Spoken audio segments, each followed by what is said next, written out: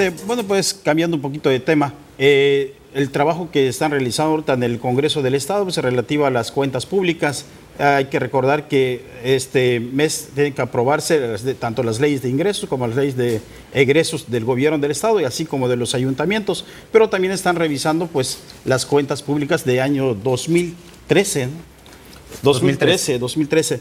Bien, eh, ahí donde ha habido este, discusiones, ha habido, digamos, diferencia de ideas, que por qué se aprueban las cuentas públicas de lineamiento, por qué eh, no se revisan a fondo, incluso no asisten algunos diputados a las reuniones. Pero hay que tener en cuenta que lo que aprueban los diputados en el Pleno, en el Congreso, pues prácticamente es un mero trámite, son documentos que realiza en este caso la Auditoría Superior del Congreso del Estado, es donde está el trabajo. Lo único que le pasa a los diputados pues es un documento donde simplemente tiene que decir si, si aprueban o no. Pero también hay que tener en cuenta que pues hay observaciones, hay muchas observaciones que la misma auditoría lo está señalando y también señala de que ojalá se cumpla, ¿no? Dice ahí que no se exime de responsabilidad a los funcionarios que hayan incurrido en algún manejo irregular de los recursos. Ojalá que así sea. Ese es lo que se exige, es lo que se reclama o es lo que se reclama a la sociedad. Finalmente de que haya una, sanción ejemplar o finalmente de que alguien, de que quien desvíe recursos, pues lo pague o que lo pague en la cárcel. Mira, yo creo que no es esto de las sanciones ejemplares, la, aplicar lo que meramente dice la ley. La ley y punto, como diría cierta diputada. Así es, hay observaciones, recomendaciones, yo diría, falta decir sospechas. Sospechas es muy de desvíos, la, cuestión de, ley, ¿no? Sí, sí, ocurre esto también. Si necesitas el recurso, lo puedes reintegrar. Ah, y no hay nada en, la primera. Sí, porque hay una de que... que señalan... Pero dime de lo... Solventar le llaman ellos, Sí, dime, es en el término. Dime a quién han denunciado pues el último que estuvo a punto de ir a la cárcel y no fue solventando esas irregularidades fue Ponciano Narváez. Y ahí sigue. Y de mielero, por cierto. Y, en, la, anterior, algunos lo enviaron a la cárcel nada más por, porque en realidad era por problemas políticos, no por otra cosa. más por pertenecer a, un, a, un, gobernador o a, un, un, periodo diferente. ¿no? Ortegón? No, no, el un alcalde de Champotón. Un alcalde de Champotón. Famoso Chonelo. Ahora hay bueno, el otro, Chonelo, y también recordemos el, Champotón, el, mielero. Él digo, el, dirigente Rosero. Hay una situación, y esto, que sirvió de, marco para la aprobación de las cuentas públicas 2013 de los 11 ayuntamientos y ya la del gobierno del Estado, donde se dan pues una cantidad importante de irregularidad, de observaciones y recomendaciones que estas han sido como denominadas por algunos diputados como llamadas a misa, no, no, no, no, pasan de eso, de ser nada más observaciones, pero se habla del manejo irregular de aproximadamente 100 millones de pesos, estamos hablando de una cantidad bastante importante, de las cuales solamente para la administración estatal eh, fueron 54 observaciones y recomendaciones. Y para que se dé eh, quienes nos ven a través de Telemar una idea de lo que se está hablando en el manejo irregular de recursos, a la Secretaría de Educación, que es la que maneja una parte muy importante, más del 40% del presupuesto estatal en, Campeche, eh, pues se habla de desvíos o de, pago de dos o tres nóminas hasta de 11 millones de pesos. O sea, estamos hablando de cantidades importantes y solo es una pequeña muestra. Y otra dependencia estatal que también recibió importantes observaciones y recomendaciones fue la Secretaría de Salud, donde igual en, los asuntos de, pago de nóminas estamos hablando de cantidades millonarias que fueron observadas. Y a mí lo que me llamó la atención en esta semana en el Congreso del Estado es que otra vez utilizan la, la tribuna para, para, los descalificativos, para defender incluso a algunos diputados, sobre todo los oficialistas, para defender a sus alcaldes que son priistas, ¿no? Eh, para defender... Pero, pero la realidad, y algo que decía el presidente de la Comisión de Fiscalización, eh, en materia de fiscalización, que es un panista, Jorge Norhausen Carrizales, que en los últimos 10 años no sabemos de un solo exfuncionario o funcionario que haya sido sancionado, y es una evidencia. Incluso si uno va a la Auditoría Superior del Estado y le pregunta al titular, que es Jorge Martín Pacheco Pérez, que te dé... No, no, para empezar no te recibe, porque el tipo tiene como política no recibirte. Y cuando te lo encuentras en un evento, pues dice que por ley no puede informar. Entonces yo me pregunto, ¿la ley está para proteger a los malos funcionarios o para sancionar las irregularidades? Y como dice el licenciado González Valdés, no ha pasado más allá. Ellos tendrían la, posibilidad de acudir al Ministerio Público si se nota que hay una irregularidad y un desvío de recursos, podrían interponer una denuncia. A mí, nadie lo hace. el Congreso, el mismo Congreso, la auditoría. Algunas leyes son como las telarañas atrapan a las moscas, no a las cucarachas ni a los ratones. Pero a mí, a mí, ¿sabes qué me llamó la atención en esta ocasión? Bueno, hasta donde sé, la ley orgánica faculta a que estas eh, aprobaciones de las cuentas públicas pudieran darse hasta mayo, pero obviamente, iba a caer en el proceso electoral y no se iban a permitir a tener una caja recurrente, o una caja de resonancia de críticas que sí hubiéramos escuchado a panistas y priistas cantándose la cartilla. Uno. Dos, en esta semana también sacaron su ley de ingresos y pues creo que los diputados no quieren pasar una fría Navidad, entonces no ven nada, todo hacen, o sea, llevan al show de otro tipo, no a lo que nosotros estaremos interesados en lo que ustedes ahora, precisamente llaman. Ahora hay una situación, mira, suben a la tribuna, se denuncia. Eh, se dicen cosas, se, hacen De que si soy independiente, de que si soy morena, que si soy morena. Pero ninguno de ellos llevan una acción. no lo soy. Pero ninguno llevan una acción legal. ¿Por qué no acuden a interponer denuncias si tienen argumentos, si tienen pruebas de los show. A ver, otro, otra incongruencia, porque Manuel Zavala, muy. Se, muy se, este, se jalan el pelo. Se arañan, se arañan.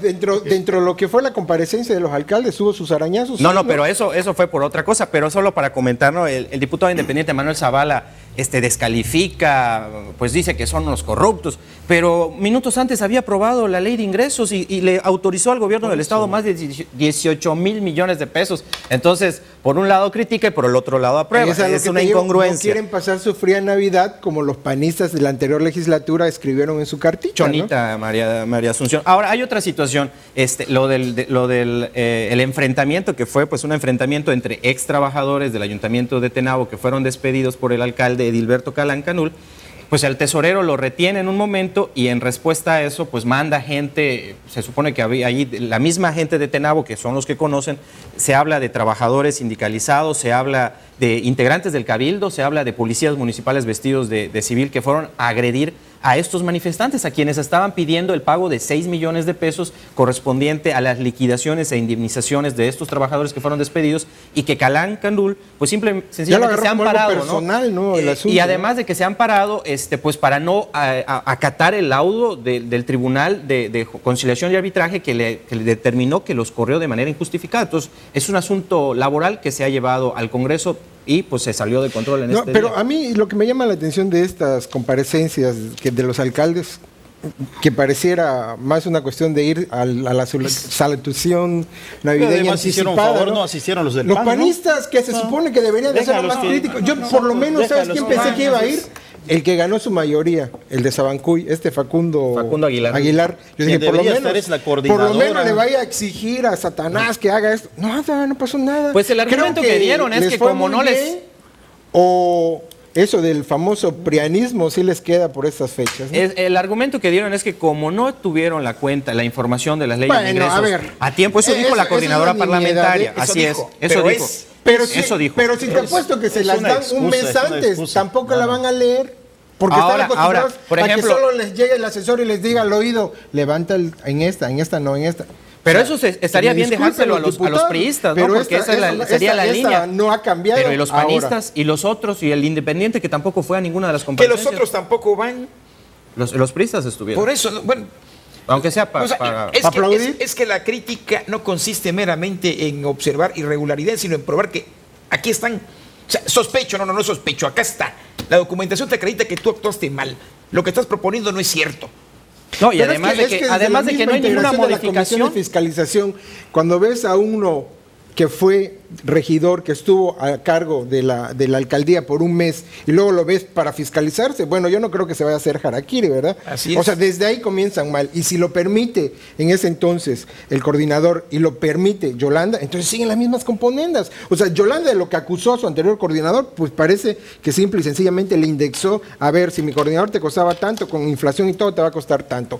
Esa presunción dan, porque luego salta a decir, es que no me entregaron el informe Chito. y pues yo no voy a ir a decir nada si no lo pasaron, sé. pasaron tranquilo, presentaron su propuesta, nadie les criticó nada. Obviamente los priistas no lo iban a hacer, pero quienes tienen la responsabilidad de señalar eran los de la oposición. Insisto, por lo menos, por lo menos los que llegaron de mayoría para que el que llegó, el, que llegó. el que llegó, que llegue y diga, oiga, ¿por qué aquí en esta comunidad? Porque yo entendía que era de Sabancuy, pero la mayor parte de ese distrito es Carmen, es, tiene que ver con Ciudad del Carmen. Pero no, además esos son 12 diputados del No, PAN. no, pero me refiero a que el de mayoría, porque seguramente en el distrito, oiga, ¿por qué no la ilumina y todo? Pues porque el alcalde no da la cara, porque la- entonces, por lo menos exigirle en una conversación al alcalde, oye, no has cumplido esto, no has hecho esto, las luminarias, ¿qué pasó? Pero no va porque acata la línea, que es su flamante coordinadora, que sí me imagino llegó a Cochupos, aunque ella no escribió cartas. Y pues, Pero tan, tan. Ella no le escribió a Santa Claus. fíjate, fíjate esto aparte. Es cierto, el alcalde del Carmen puede hablar de dos, es prianista. Fue Él tiene, él, y además fue diputado fue- criticando al PRI anterior. desde el PAN. Oye, está genial eso. Oye, y ve esto. La situación en, que- en la que se encuentra el Carmen es deprimente, pese a las inversiones considerables, la deuda es altísima. No solo eso, la gente se queja de los servicios irregulares, de que las calles se encuentran en mal estado, de que las expectativas Carmen. que se pensaban que no solo que- es Carmen, había que señalar Eh, Carmen, bueno, seguridad en Champotón. Escárcega, había Pero un número de deudas. quisieron ver a los diputados Pues, diciéndole, de deudas. ¿por qué no hay esto? ¿Por qué? eh, eh, bueno, lo que dice Juan, aquí quiero ver a la gente que supuestamente es representante de determinado sector. De oposición, exacto. Sí. De exigir al alcalde, mira a la gente, a la gente que yo represento señala que esto eres tú. Y averiguar precisamente qué es lo que se está haciendo. Pero licenciado, por los ejemplo, en el recursos. asunto, en el asunto de los servicios públicos deficientes que tiene el Ayuntamiento del Carmen, no, no, pues no habría que documentarlo tanto, solo basta con recorrer el- el- la ciudad, eh, ciudad del Carmen o recorrer los- los- las comunidades que, que tiene ese, ese municipio para darse cuenta de, de las deficiencias. Ahora, ningún diputado del PRI le va a tirar carrilla a su, a su presidente municipal, incluso Es pues que, es- ahí es está que ese es el, problema, porque Eh, Esa es la función entonces. Pero de- no lo cumplen, no lo- ellos solo eso- van a, es pues, a- que- a- a aplaudir. Bravo, ya vino a explicar 1.300 millones de pesos. La deuda que se habla del municipio del Carmen son de más de mil millones de pesos. Entonces, ahí... No, ahí- en, el, en el caso del PAN andan ideológicamente perdidos, porque si nos vamos a la cuestión de deuda, sus regidores en Carmen le aplaudieron a Enrique Iván su deuda. Y los de acá, ya, los diputados, se la satanizan. Entonces uno, bueno, no hay orden, Pero no hay ideología. Creo ¿o que los que no están extraviados, te digo que están perdidos, están extraviados. Así que no es problema. Vamos a una pausa. Regresamos.